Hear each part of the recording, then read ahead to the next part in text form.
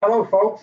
Uh, this is Scott Gary. I'm with the Office of Community Development, and I want to welcome you to the Homeless Crisis Response Program and Supportive Housing Program Application Training.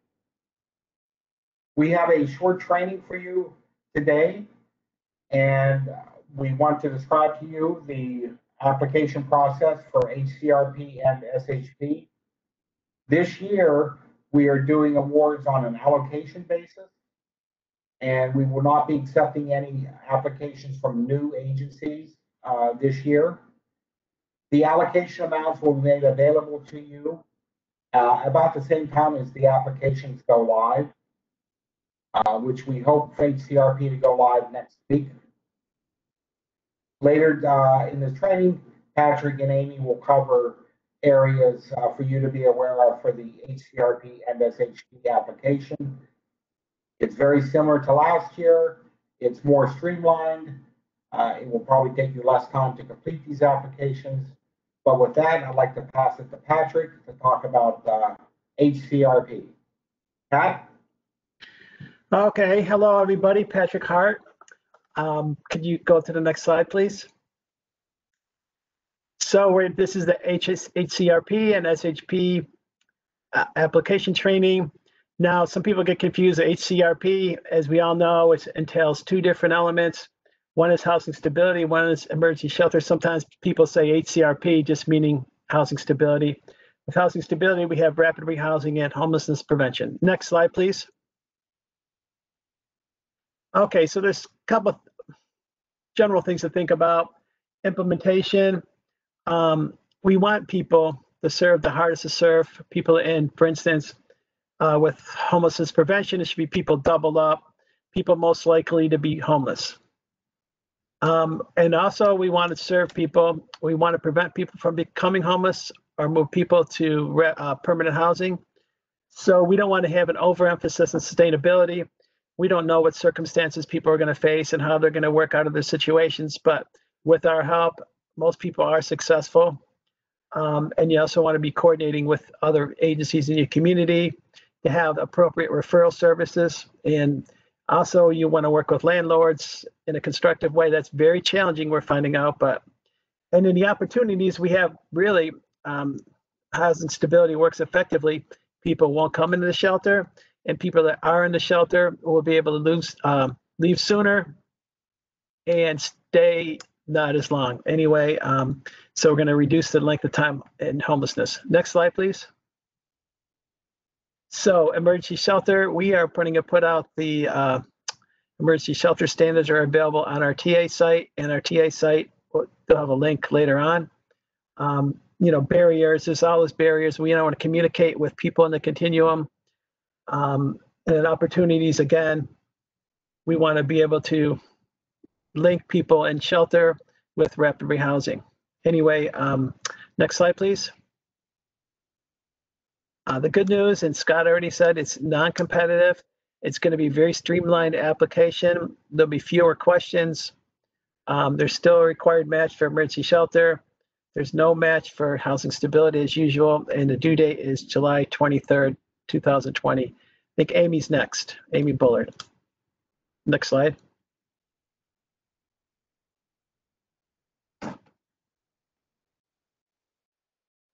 Hi, everyone. It's Amy Bullard, and I'm just going to talk a little bit about um, SHP. Next slide, please.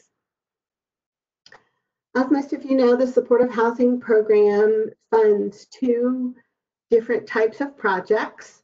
It funds transitional housing, which is designed for people who um, are homeless, maybe in shelter, and have higher needs and barriers than some others where um, additional supportive services may be beneficial to them before moving them into permanent housing.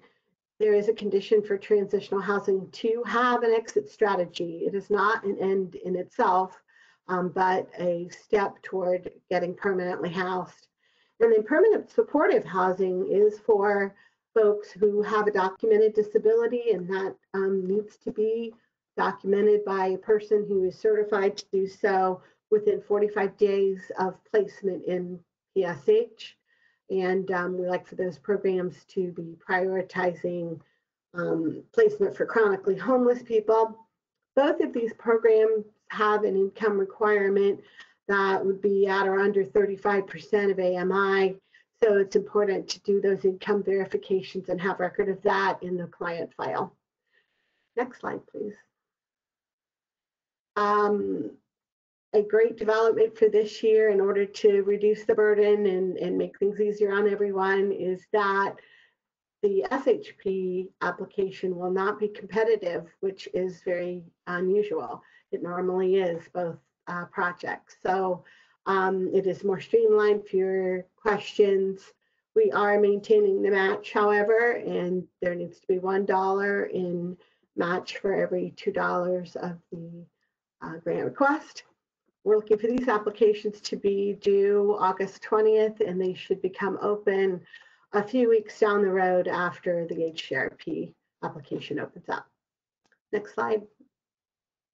And we're going to go over the application a little bit. Patrick's going to get started and then I'll finish up.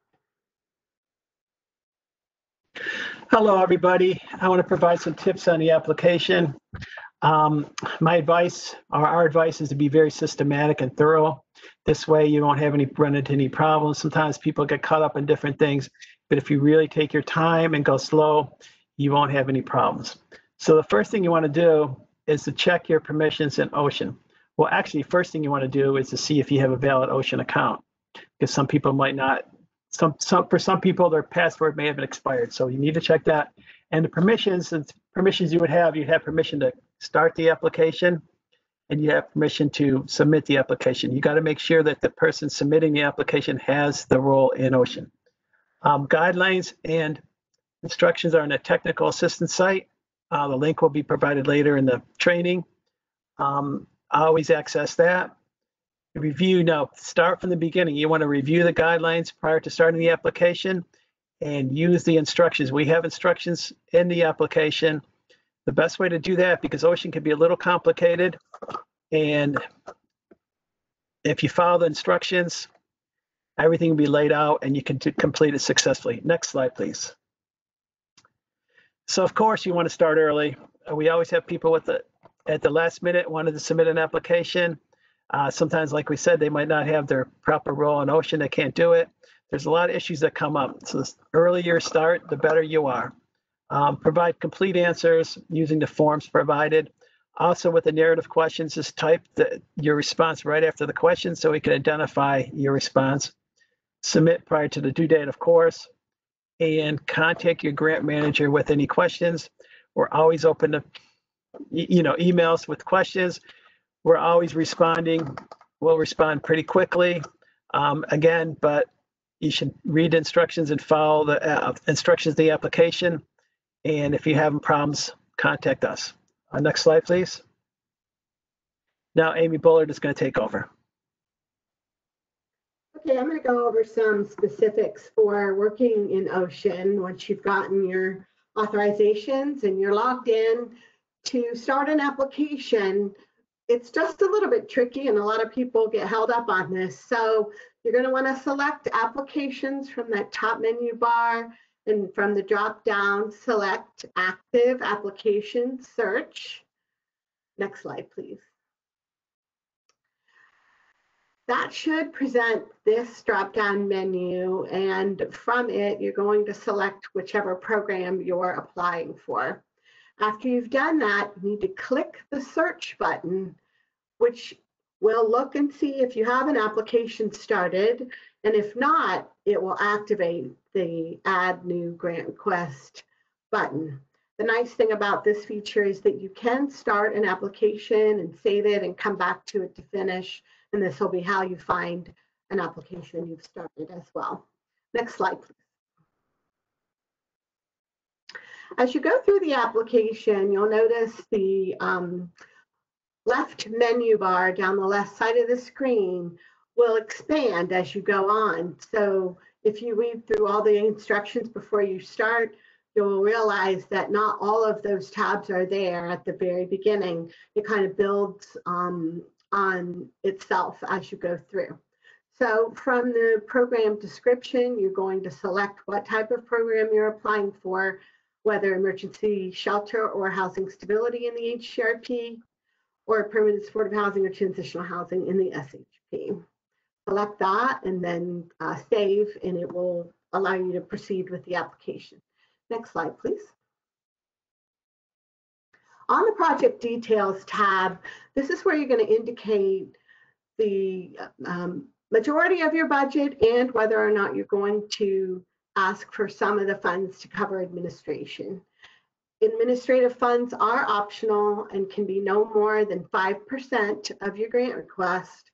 And if you are going to ask for those, they need to be uh, listed as a separate project because we track that information separately. Then the remaining amount of your grant request would go under one project. Next slide, please. When you go to the performance proposed tab, you're going to be asked to enter information where you're saying what you think you'll be doing during the grant period that starts January 1st of 21 and ends December 31st of, of 2022. And um, you will want to list your continuum standards. It is important that the um, applicant knows their continuum standards and enters them correctly, and then identify what performance outcomes you plan to reach for. And these should be based upon what you've done in the past, looking at your APR that you produce out of the HMIS. Should you have any performance measures that you don't think will meet your continuums, you should address that in the narrative question where you have the opportunity to do so. Next slide, please. On the activity information tab, this is where you will specify the breakdown for um, the amount of money you want to spend on the various activities that are eligible for each application. What we're showing here on the slide is the housing stability uh, application, and then the categories are a little bit different um, in the SHP. But you will specify the amounts and then save and go forward. Next slide, please. And we're going to wrap up with that. Remember that the um, instructions are at the technical assistance site, gives you step-by-step for every single tab in the application. You do need to follow it from top to bottom because it builds on itself. The fillable documents are, will also be available on the technical assistance site, as well as those updated emergency shelter um, standards that Patrick referred to earlier. And we also are providing here the link for the consolidated plan that um, Development Services Agency provides to HUD every year in case you'd like to reference that. Next slide, please. And on behalf of the supportive housing section, I want to thank you for listening. Know that we're always available to help you. You can see that you've got links to each of our emails there. That's the best way to contact us now. Um, and we look forward to hearing from you. Have a good day.